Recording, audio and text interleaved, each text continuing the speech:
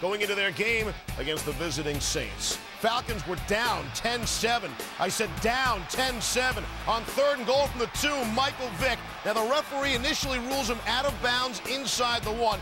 Vick signals to Jim Mora, challenge the play. Now here's the deal. If a runner leaves the field of play by leaping toward the pylon and any part of his body goes over the pylon, by rule touchdown. The goal line extends. Any part is the key there. In this case, his empty right hand went over the pylon. Touchdown.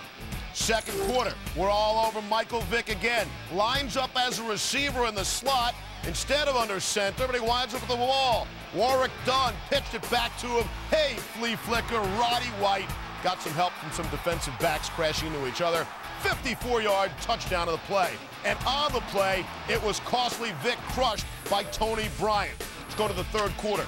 Time for the Visa Skycam play of the game. Off the play action, bootleg, Vick, 17-yard touchdown. Falcons up 28-17. We're still in the third. We're still 28-17, and the Saints, they're pinned on their own four.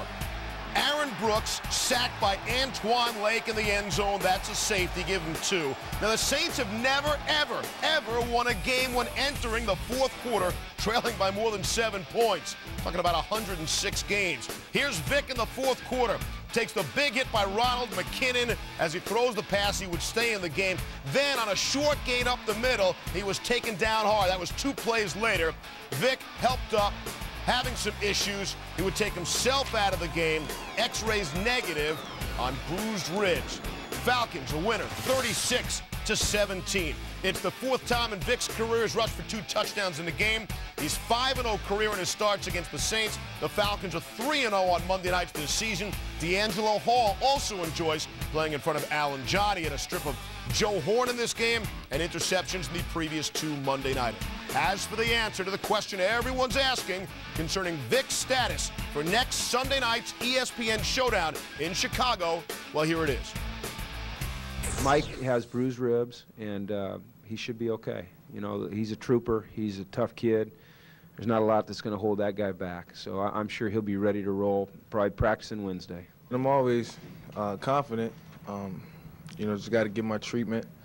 So at 1 o'clock, got to get up at 8, you know, be in the training room. It's going to be a little tough, but, you know, it's a sacrifice I got to make. You know, I don't mind at all. So, you know, I'm to work hard to get back, and, and uh, hopefully I'll be able to, to um, play this Sunday against Chicago. Yeah, hopefully. Looking up at the looking at the up to the second NFC playoff picture, the Seahawks may have started to pull away from the rest of the pack now, leading the race for home field by two games. But four teams remain in the mix for the wild card, wild card, including the surging Vikings and the Falcons.